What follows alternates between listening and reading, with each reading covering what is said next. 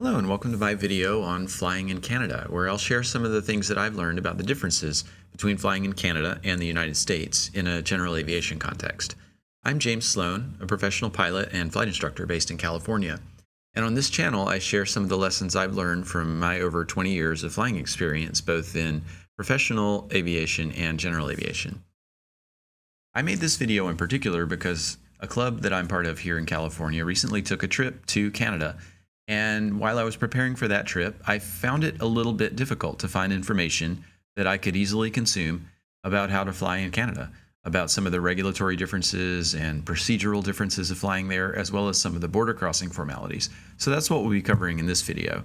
Specifically, I'll share some of the resources that I used to understand those differences. I'll share detail on the border crossing procedures and formalities, and of course the required documents for that crossing, as well as the required documents just for operating in Canada. We'll talk about aeronautical charts, which are a little bit different, and in particular airspace, which is different and is depicted differently on the charts. And then we'll talk about air traffic control communications and how that interacts with airspace, because that is also a little bit different. And then lastly, we'll just talk about a couple of other one-off but important differences between flying in Canada and flying in the US. I do want to add a disclaimer that this presentation is based on my experience flying in a Part 91 context under day VFR in Canada. There are some differences with IFR flying as well. We didn't have a chance to do any IFR flying, so you would need to research that on your own. But this will cover some of the differences for day VFR flying, and it's really intended to help US based pilots understand the differences of flying in Canada. I'm not that familiar with flying in other countries either, so this is pretty US centric.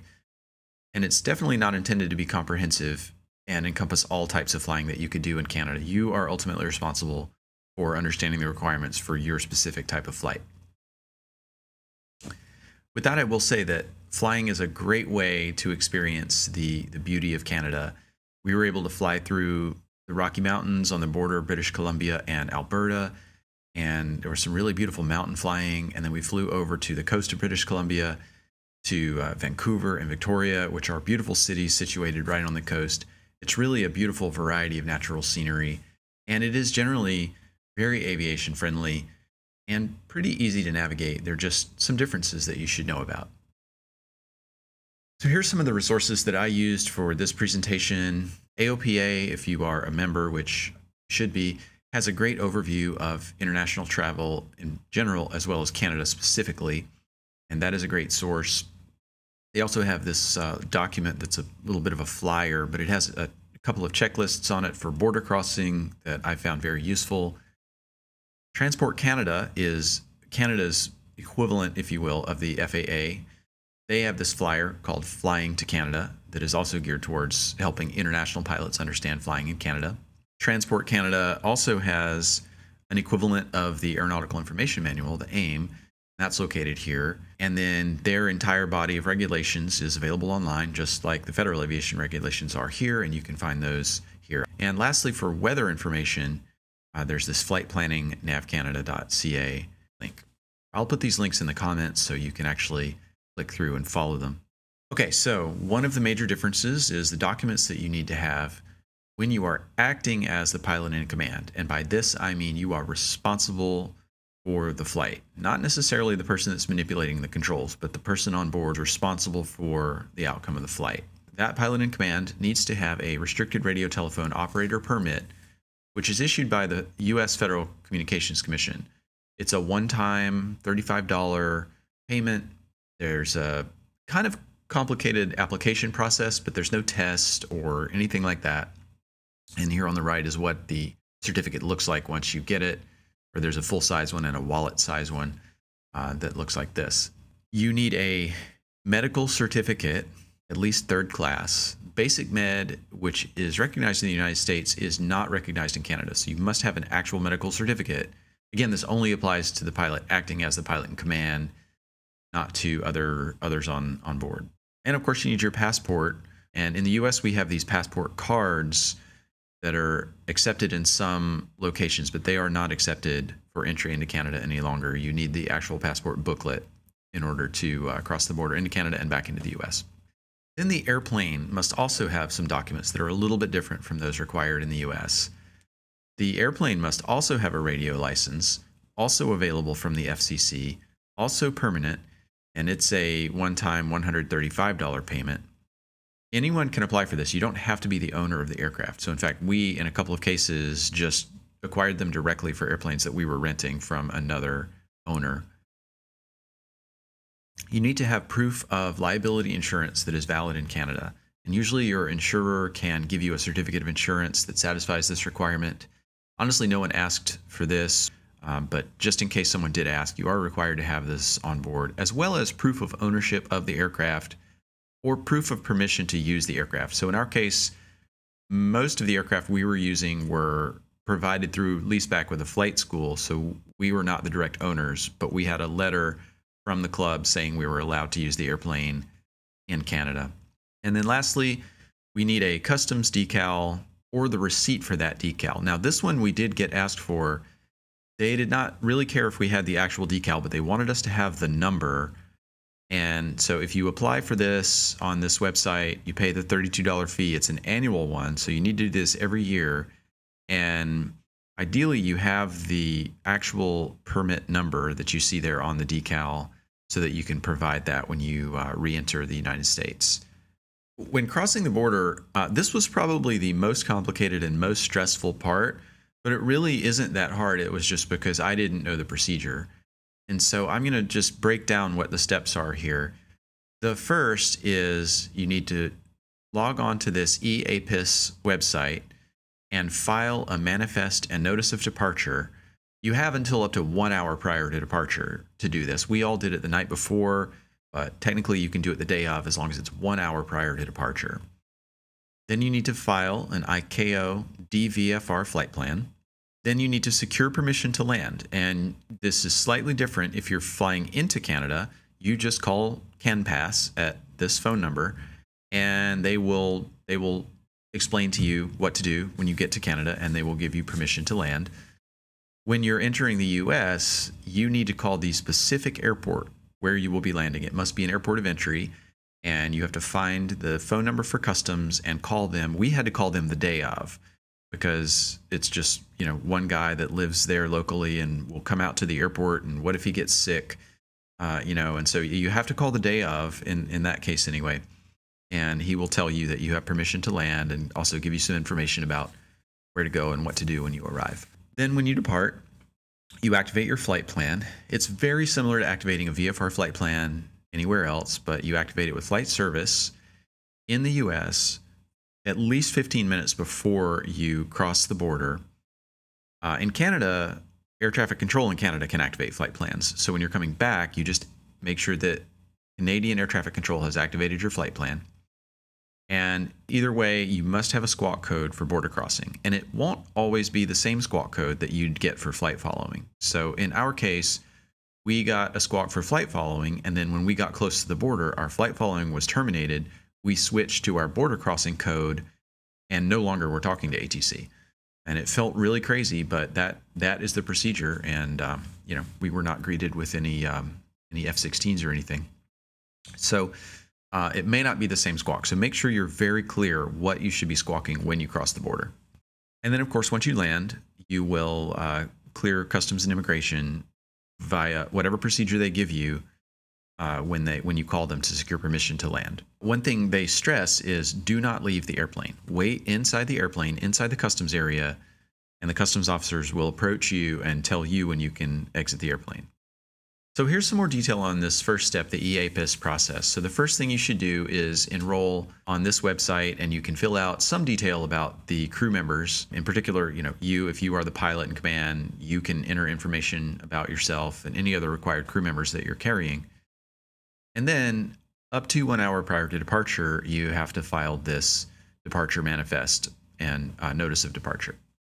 So in this document, you need the passport information and addresses and contact information from all your passengers. You need to identify an airport that is a that is a departure airport and that is close to the border crossing. So in our case, it was not our actual departure airport. We picked an airport close to the border that was in the list, and if you click the little arrow there next to the uh, field, it will give you a list of acceptable airports to put here. So we found the nearest airport and we put that. And then in the actual departure location, we put where we would actually be departing. You estimate the time and location of your border crossing, and you put that in the appropriate field down here. And in our case, we just used an airport that was right on the border.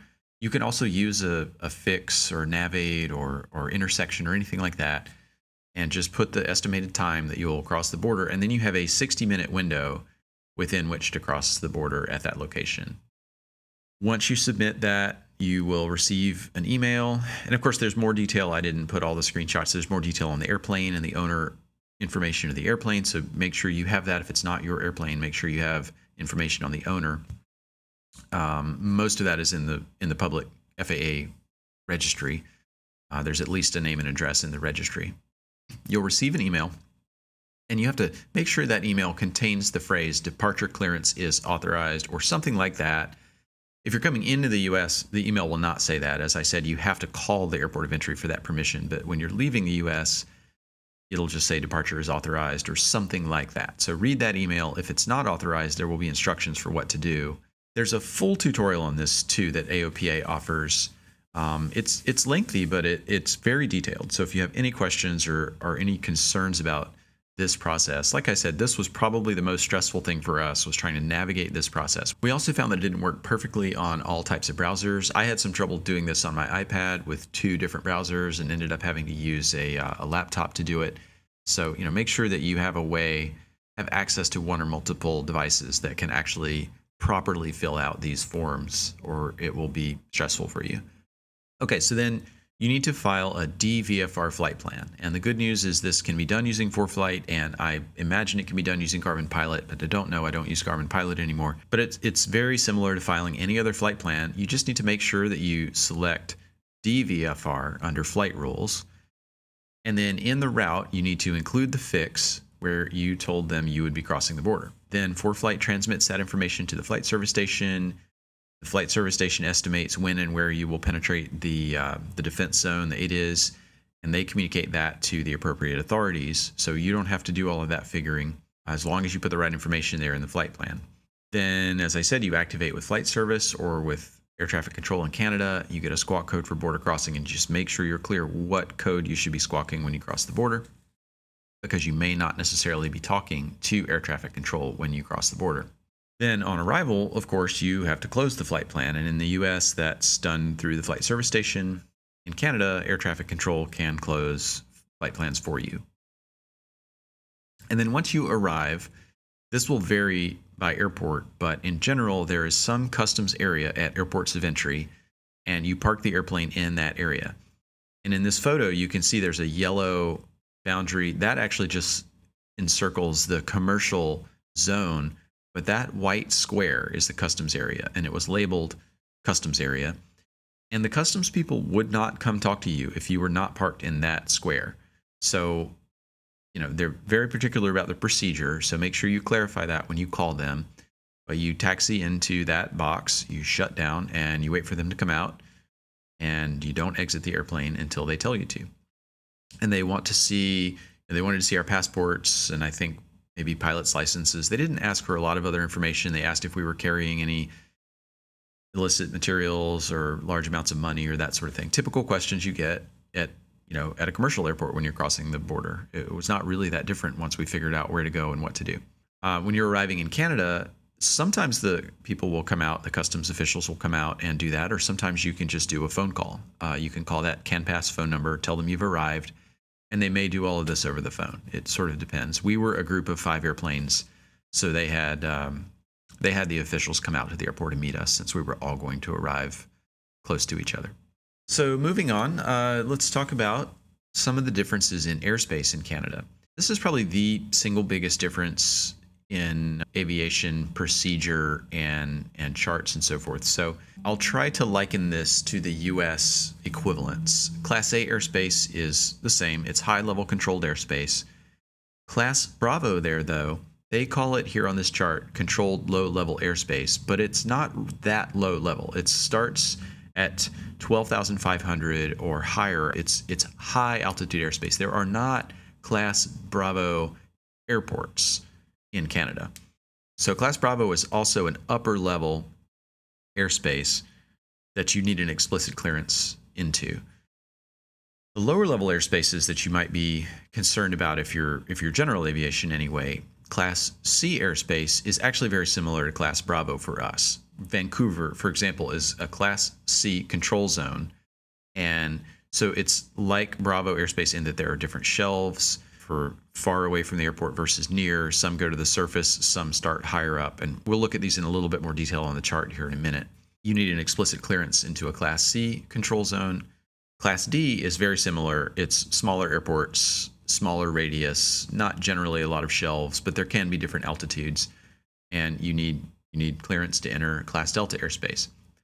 Class Echo, there can be control zone or just general Class Echo airspace, and that's usually at airports without towers. And it's very similar to our Class E airspace. It's for for control and separation of IFR aircraft, but you do not need a clearance when you're VFR to enter Class E airspace. They also have a designation for Class F airspace, but it's actually just special use airspace. And the only thing you have to be careful of is whether it's a restricted airspace or an advisory alert area, sort of like in the US, where you can have MOAs and alert areas that are a little bit different from restricted areas. So we'll look at an example of that as well. So, in order to see all of this airspace, you really need to have sectional and terminal charts available. Of course, you can have paper charts. We chose, I think, almost, if not all of us, to have the charts available in ForeFlight. It was about $100 for a year of the Nav Canada databases and charts in ForeFlight. We also paid for GPS databases in the G1000, uh, which you can buy through fly.garmin.com. We had some issues with some of the airplanes, though, where we bought, we had a US database and we had a Canada database and there isn't a way to switch databases. The databases switch automatically when the date passes and the next database becomes current, but it doesn't switch automatically based on geography. So if we had two databases that began September 10th or whatever, there was no way to switch back and forth on some of the airplanes. The newer NXI G1000s do have that capability, but the older ones didn't have a way to switch databases. So if you're not sure my suggestion would be to have an Americas database, which will give you continuous navigation data and procedures for both the US and Canada. And you can buy those for a month at a time or, or whatever. So you don't have to buy a whole year for $2,000 or whatever it is. So a single month of these should be, you know, $100 or a few hundred dollars or something like that. And that is my suggestion. That's a little bit of a gotcha. So we ended up having to navigate around without the database but we were able to do it just using pilotage and you know good old fashioned flying skills and the the charts that we had. It wasn't a huge problem. Would have been more of an issue if we had to be IFR for any reason. And then as part of that subscription in ForeFlight anyway, you get access to a number of other documents that are super helpful. So the legends, for example, which we'll look at in a little more detail here in a second, those are super helpful because some of the symbology on the charts is different and a little bit difficult to decipher if you're not used to looking at it. And then, of course, they have the chart supplement, which is the Canada Flight Supplement. It's completely analogous to the chart supplement, and you can see an example of the kind of data that's in there on the runways, the communications, procedures, and so forth. The AIM is available in there as well. There's some other like phraseology guides and other things that are that are quite helpful. So I highly recommend subscribing for a month or however long you need to that level of data through your uh, electronic flight bag. So as I mentioned, the, the depiction of airspace on the charts is a little bit different. It's worth spending a minute on. You can see here on the sectional chart, Class E control zone looks very similar to what Class D looks like in the US. Class E doesn't require any permission to enter, but it is depicted on the airspace and it does sometimes have communication requirements. We'll talk about that in a second. And there you can also see Class D and Class C terminal areas and control zones. They're depicted with the brackets or the little T's. Uh, so a little bit different depiction. On terminal charts, it's also a little bit different. You can see the gray line there that outlines the terminal control area boundary, and that's an important boundary because it's a, that's Class C airspace, and you're required to have permission to enter that airspace. So I'll show you how I dealt with that because um, these charts can get quite busy and uh, difficult to decipher. So we'll just go through some examples here. The first example is Revelstoke, which is the equivalent of a non-towered, uncontrolled airfield in the U.S. And you can see here there's no control zone, there's no Class airspace, uh, there's no tower, there's no air traffic control on the field. And we know that because we don't see the depiction of airspace around the airport.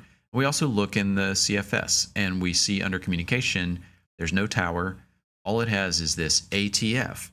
So ATF is an advisory frequency that you are required to use to communicate with other aircraft when you're within whatever distance it says. In this case, it says five nautical miles and 4,500 feet above the surface. So if you are within that zone, you should be talking on the uh, advisory frequency. You can also remotely reach Pacific Radio, which is sort of like their flight service station on 122.375, but you're not required to talk to the flight service station and you're not directing your communications to the flight service station. There are cases at airports like this where there's no mandatory frequency or, or ATF listed. And in that case, there's a standard frequency 123.2. Now, another really interesting difference in Canada is when you're outside the immediate area of an airport, you're supposed to use this en route common traffic advisory frequency to make position reports.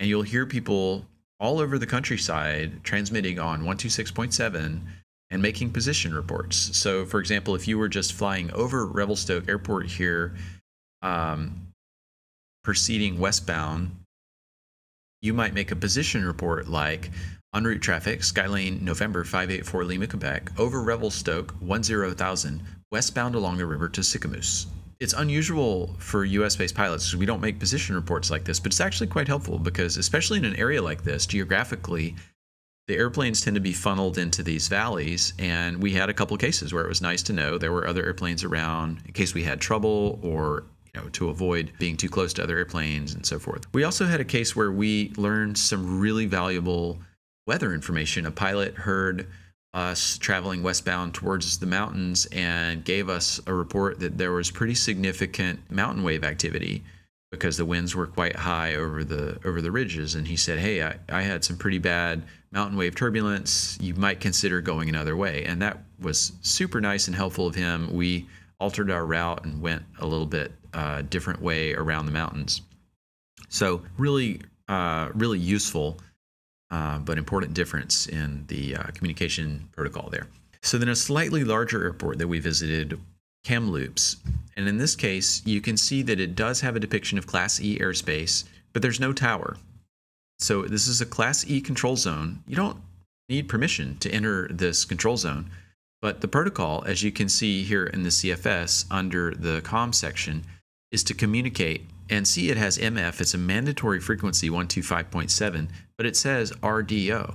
So when you communicate on this frequency, you're actually directing your communication to Pacific Radio. It's kind of confusing. I believe this is the way it's done in Alaska in some places where there's a flight service station on the field and you call and ask for an airport advisory. So in this case, when we were coming down the river there, we called Pacific Radio, Skylane November 584 Lima, Quebec, 10 miles north request advisories. And Pacific Radio came back and told us they saw us on radar and said, you know, there are two airplanes in the pattern using runway whatever. And then, you know, we just made reports as we got closer so they could keep tabs on who was where and advise us of other traffic. It's kind of a weird hybrid between a tower and a, a common traffic advisory frequency.